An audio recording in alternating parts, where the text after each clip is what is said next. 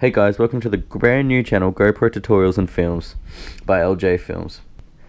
Uh, just want to put it straight out there, I'm not a professional in any way. Uh, I've had experience with GoPros for many, many years and I've realized over those years that there's, there's so many people that just aren't as educated as, as you'd expect them to be. They're just, the, the settings that they just put on and you just wonder why they're doing it and then you show them and they're just astounded. So I just thought I'd try share my knowledge as best as I can. Um, if you've got any opinions, just like uh, comment the video or anything like that.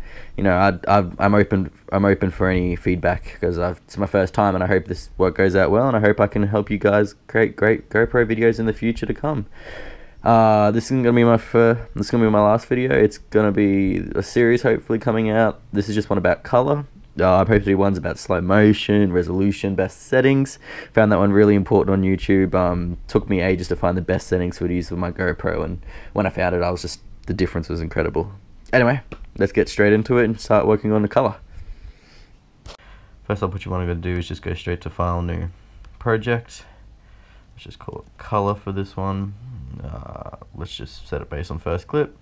Leave that all as it is. I changed my render format to that to Apple ProRes 422. It's a little bit bigger, but gives you slightly better quality. Alright, so you go straight in. I'm just going to copy and paste a video I've already got completely. Yeah, just just put that. Okay, put that down to 30 for now. It's just a video that I filmed while I was going camping one weekend with my friends of me just going on a swing. So just go up and uh, swing off, jump in the water, and that. So, first of all, shot at 1080p, at 60, actually not 120 FPS for this one, because I wanted to slow it down and post and see what it looked like using ultra slow motion, which I'll be looking at in a later video, so stay tuned.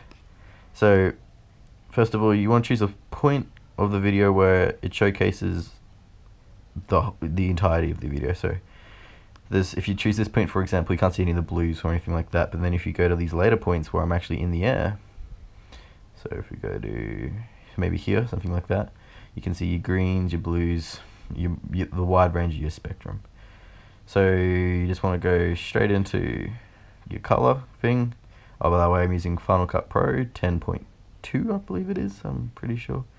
You just want to go to color correction. Nope color and just drag color correction straight on top of it for people that are using an older version, it'll be right here already. And you just want to go to color band. Now what I found is that you don't do all your grading in a single in a in a single single board. You want to add a new board, a new board, a new board every single time. And that gives you when you change one thing, it doesn't affect the whole entirety.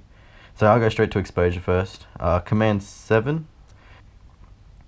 Alright, so you just want to put it onto RGB parade like this and this will show you the entirety of your video. So these are your highlights. You want it to be at 100 or so your whites are really bright sort of thing. And you can put this should be at zero. So this is telling me basically that my highlights are fine. Don't need to really play with them at all. But they're saying pull down my shadows just a little bit so that it then adds depth and color. So if you just go out now you can already see the difference. It's it's just little things like this that people need to learn so you you think it just looks flat and gives you some depth. Depth. Alright, so the second thing you want to do is just want to add another color correction on top of it. This will give you two ones. So this one's you can rename it if you want to, but that's going to be just all about your whole entire your uh, exposure. And this one here, we're going to move straight into color. Don't play with saturation, you leave that to one to last. So color, you got your global. So this affects the entirety of the thing, so you can make it really green, really pink, however, whatever, whatever suits you. Mm. So let's just go straight to your highlights. So this is your brighter parts of the picture. So if you go to Command 7 again, you can see this is, we're talking your highlights here. Oh, your blues, greens, and reds. So if you add the blue, booster up, so you can see, and take it away. So when you take blue away, it gains red, the opposite of blue. So let's just put that back on zero. So let's just play around. This is just personal preference, so you might want to make it more blue.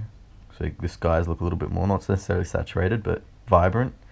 Shadows, I've always realized that most of the time shadows is more than just your trees sort of thing. So, you know, you can have a really golden looking tree sort of thing. Let's put that like that maybe. And highlights, I always go pink or sometimes even red. and this just adds that nice sort of I don't know, just makes a nice look I guess when you're in the sunlight. So the difference from this one just from that one already you can see looks a lot more less pale. That's one thing about the GoPro that it doesn't do skin tones as nicely as you'd expect it to. I've got a color finale thing, uh, not color finale, uh, uh, what you call it? Where is it? Magic Bullet Suite Cosmo.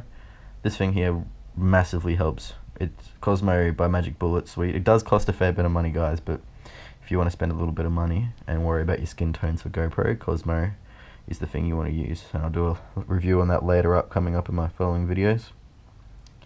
But anyway, so we've got the color sorted now. Now we're going to play around with the saturation. So you're going to have to go back up to color, got another color correction thing, color board. So now in saturation. Now you can do global saturation, that increases everything. Uh, if you want to after the GoPro look, so when it comes straight out the camera, it's always a little bit oversaturated. Uh, this is just the look they've, they've adopted. If you're going for a more film look, you don't want it to be oversaturated, but you, you want it to look realistic. You know what I mean?